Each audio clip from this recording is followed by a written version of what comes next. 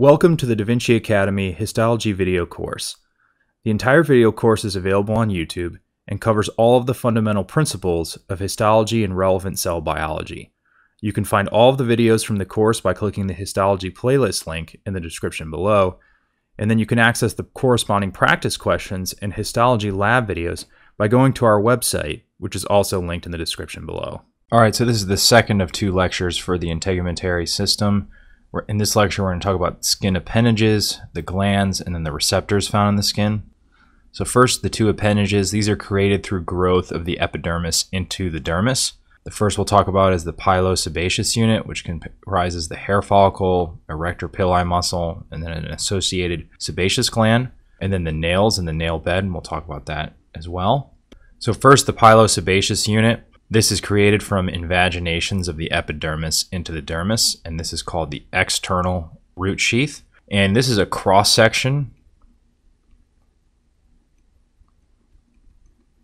of a hair follicle. And what you'll see here is that this layer indicated here by this red line in, this, in the slide, this is the external root sheath.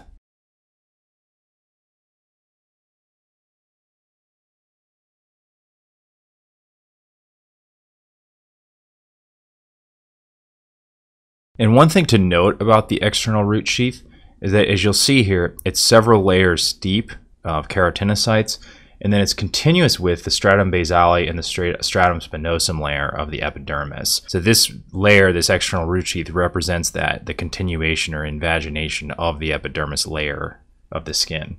It's surrounded by a thick basal lamina, and you'll see this arrow is actually pointing to this layer right here, as you can see, as it goes around. And it's called actually the glassy membrane because it has this thick, glassy type appearance to it. And as you'll notice in the slide here, it actually separates the hair follicle from the surrounding dermis. So this connective tissue you see here, this is the surrounding dermis layer, and then this would be the glassy membrane separating the hair follicle from it. The hair root itself consists of a number of, so if we look at a kind of a diagram here of a, of a hair root, kind of a cross section,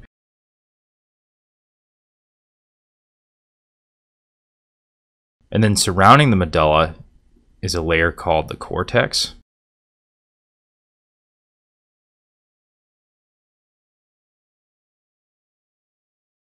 And you'll see in anatomy, these are common terms. Usually medulla is the more central region of something. For example, the adrenal cortex, which is a gland that produces a lot of steroid hormones on top of the kidney, is has a medulla and a cortex to it. And there's anatomical regions of the body where there's a medulla, which is the inner portion, and then the cortex, which is the outer portion. One thing I'll point out is that central medulla is not present in medium and to fine hair. So in those particular hairs, there is just the cortex region. And then external to the cortex is the cuticle.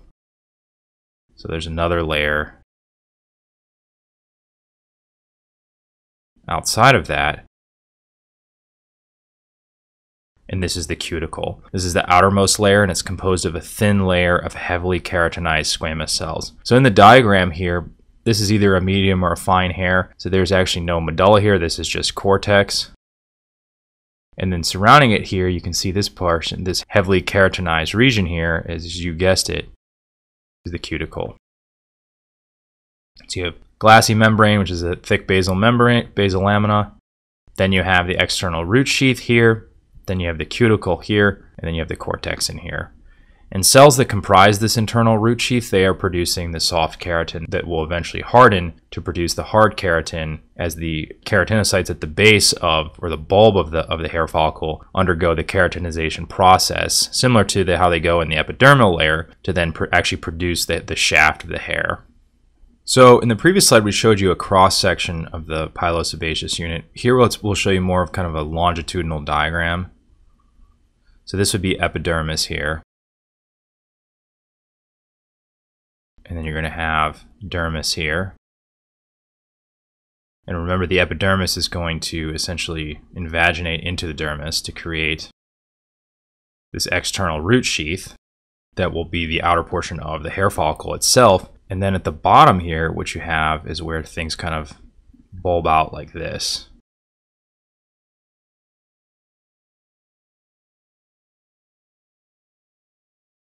Then we come back up here. And the same thing, this is epidermis over here. And so this, this region here as we go all the way around.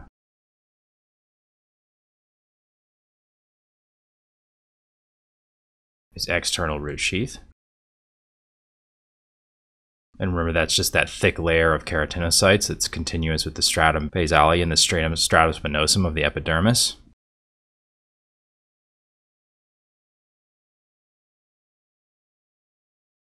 Then you have the base of the hair follicle, which is comprised of proliferating keratinocytes, which are, again, as we said, those undergo the keratinization process to go from soft keratin to hard keratin to actually form the hair. And so, as a result of that, since you have a lot of cells proliferating down here, you actually have significant vascular supply via a dermal papilla.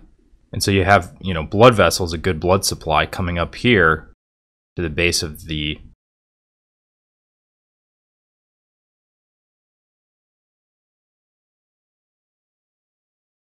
to the base of, of the of the bulb of the hair follicle here.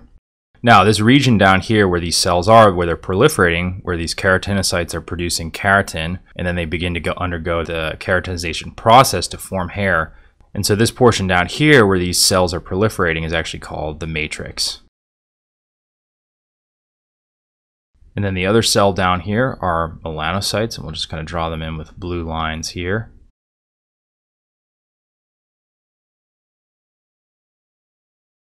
And these produce melanin for hair pigment to give the hair its actual color. Then lastly here, you know, we'll draw the, the hair actually coming out of the surface here. And then we'll draw this central line down here through the hair shaft itself, and this will be the medulla. Then this region here would be just outside of it will be the cortex. And then this region here, this outer region here, will be the cuticle. And those all together comprise the actual hair. Last couple structures here. So then you're going to have these sebaceous glands, which have these short ducts. These will create substance called sebum. It's kind of a waxy, oily type substance that secretes onto the hair. We'll talk about these glands in more detail in, a couple of slides here. And then the last structure is actually a muscle, a smooth muscle, called the arrector pili muscle, which we'll draw in here with this red. And so as we show here, it runs obliquely from the hair follicle to the upper dermis, and then contraction of it causes the hairs to erect vertically. So it causes your hairs to uh, stand up. In a sense, like, you know, you hear the expression, you have goosebumps, and, you know, your hairs all stand up nice and straight. That's your arrector pili muscle contracting. So the nail is composed of mainly the nail plate, which is the visible portion, and this is the portion that's over the dorsal surface of the epidermis of digits in a region called the nail bed we'll actually do a simple diagram here to kind of illustrate this. So remember, this is formed from the invasion of the epidermis into the dermis, and it's a portion, as we say up there, called the nerve, the nail groove. And so we come down like here, and this obviously is going to be epidermis. This portion here would be dermis. And so the epidermis obviously is going to wrap around here. And then this portion here that we're drawing is actually the nail itself.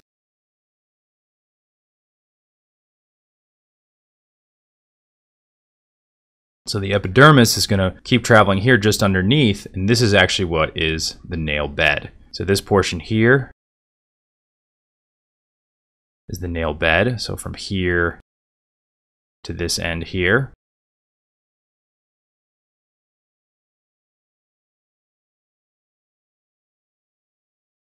And let's, you know, at the tip of any digit, you're going to have a bone. So we'll draw the bone in here like this.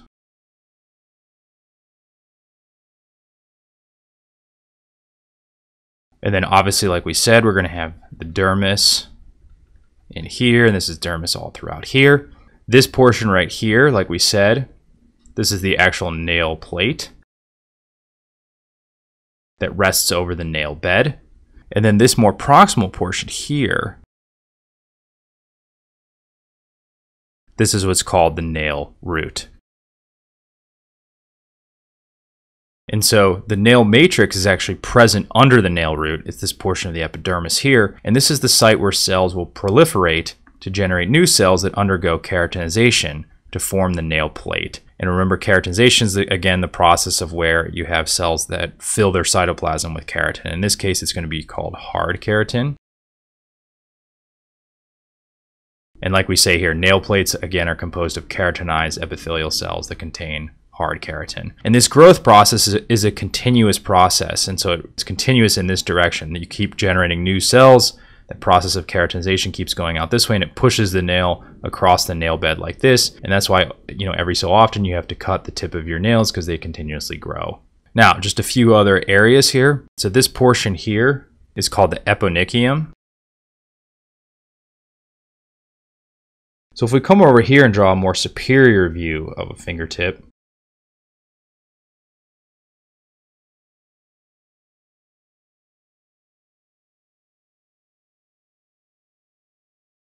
First thing you'll you'll kind of notice if you if you look at the base of your fingertip, you can even look at it while you're watching this video here, is this kind of crescent white shaped area.